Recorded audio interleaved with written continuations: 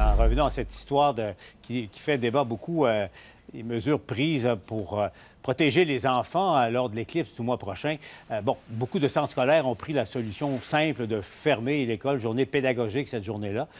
mais d'autres centres scolaires, il y en a au moins quatre, Marie-Victorin, Saint-Hyacinthe, Grande Seigneurie et Patriote, maintiennent les journées d'école, euh, mettent en, place quelques mesures pour euh, encadrer euh, les enfants, dont, par exemple, ici, on va fournir des lunettes de protection. Ils ont pu s'en procurer, homologuées pour protéger les élèves. Et puis, il y aura des activités d'encadrement des élèves, activités pédagogiques. les enfants vont apprendre. C'est un, phénomène exceptionnel qui va se passer.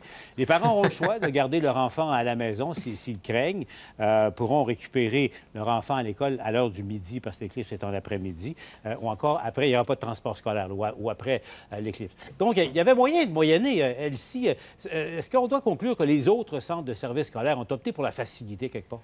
Bien, sans doute. puis aussi éviter la responsabilité si jamais il se produisait quelque chose. Je pense que ça, c'est une belle proposition. Puis moi, je me suis toujours demandé, idéalement, c'est tous les enfants auraient chacun leurs petites lunettes, puis tout le monde regarde par la fenêtre. Je me suis dit que c'est une question de coût, possiblement. Bien, ils en ont trouvé, tu sais, puis ça, revient après 75 sous euh, ben chaque. Marc-André, tu sais aussi, hum. euh, dans certaines écoles, ce qu'ils vont faire, lorsqu'il euh, y, a des, y a des fenêtres, lorsqu'il y a des fenêtres dans la classe, et puis pour éviter que les enfants soient tentés de regarder à l'extérieur, ils vont simplement retourner les pupitres pour ben que la, fenêtre soit de dos aux élèves. Mais non, mais... Écoute, il y avait, moyen, il y avait moyen de moyenner. Oui, mais on le voit, on le voit que c'est simple. Tu sais, veux dire, on, on, se casse la tête en 2024. Moi, Paul, j'attends parce que notre centre de, où mes filles vont, le centre de service, là, silence radio, là.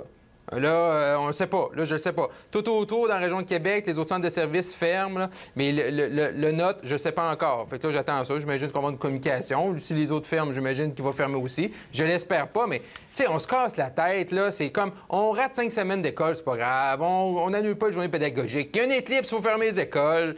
Mais sérieusement, qu'est-ce qu'on donne comme enseignement à nos jeunes, là? Comme, tu sais, l'école, c'est peu important. L'école, c'est secondaire. Euh, tu vas à l'école si ça te tente, puis quand, quand, on veut. Tu sais, tu le dis pas, Paul. Pourtant, l'école, c'est primaire, Marc-André, dans le cheminement d'un enfant. Je sais, mais là, c'est très secondaire, on dirait, en 2024, l'école. On, est à l'époque de, papa et maman poule aussi, hein? Donc, euh, oh. tu sais, les parents, là, aussi, ah, mon enfant, tu sais, sont ah craintifs. Bien, je veux dire, jusqu'en sixième ah. année, les, les parents amènent leurs enfants à main dans la main à l'école. Donc, euh, moi, je pense qu'il y a aussi beaucoup de parents pas comme ça, qui sont ici, Ben oui, je m'assure. pas Mais Gaétan, est-ce qu'on choisit pas la facilité trop souvent? Ben oui, mais disons-le, je vais le ben dire, là. Bravo aux, commissions, aux centres de services scolaires qui l'ont fait.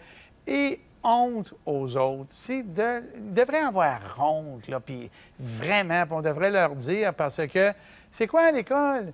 L'école, c'est une question de transfert de connaissances, d'éveil. Et ils ont choisi un congé pédagogique qu'ils avaient dit qu'on ne pouvait pas changer de place, on ne peut pas toucher à ça pendant la grève. C'est une petite vengeance, mais c'est la facilité.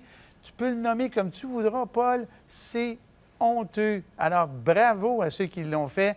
C'est pas compliqué, cette affaire-là. C'est un moment important. Ils vont s'en souvenir toute leur vie. Moi, je me souviens des moments où on a eu ça à l'école, là, ça fait très, très longtemps, puis je m'en souviens encore.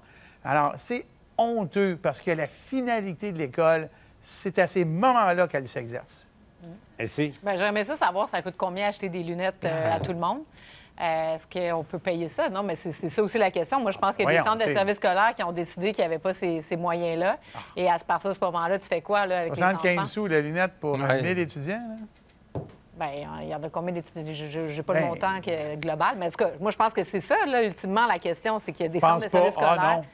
Ben, moi, je pense que oui. Moi, je pense pas. Non, moi, je pense, je pense pas que c'est les lunettes. Là. Je pense que c'est juste de dire c'est l'organisation de tout ça. Puis c'est demander plus. Puis là, qu'il reste plus longtemps. Mm. Puis là, tu es obligé d'annuler le transport scolaire. Mais je pense que ça s'organise. Puis une façon de rendre ça. il faut dire que la, la question délicate, c'était le, moment de l'éclipse, autour de 15h25. le transport scolaire des enfants. Mais tu gardes en classe une heure de plus. Ben oui. Ben oui. C'est franchement. Là. écoute, quand j'étais jeune, la Coupe Stanley, on arrêtait l'école, mais on la regardait à la télé. Bon. fait longtemps, ça. Ou sur la rue Sainte-Catherine, ce que j'ai fait alors que je devais me trouver en classe. Ma oh. confession est faite.